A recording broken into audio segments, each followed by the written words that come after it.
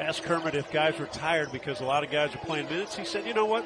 Every team's the same. They shorten the bench. We've just had a few injuries and guys have to play. They played well last night um, the, when they, they beat A&M. Right. And Pinson was good.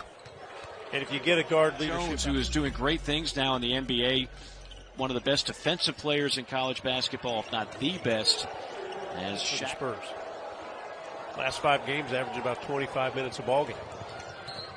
Keeping up with your old teams, huh? Nice take on the other time that has happened. And so, yeah, they go one and two. And again, a lot of people want to know well, when are we going to see last year's Alabama squad? They by far and away have. He was on the bus today. Uh, his guys have responded so far in this first half. Alabama on a 19-6 run, make it. Deep three on the way, and that's a big shovel, though, right? Yeah, it's not bad. It hits what we'd like to do. As long as the roads are clear, it's pretty. Wow, good step back. Like when you played, when it was a hot night for your teammates, that took some pressure off you where you started hitting some more shots, even more than normal for you. And this basketball program, I think, is in good hands with Kermit Davis. This is just one of those years where so many injuries have kind of kept the Rebels back. Help is on the way with a good recruiting class coming in.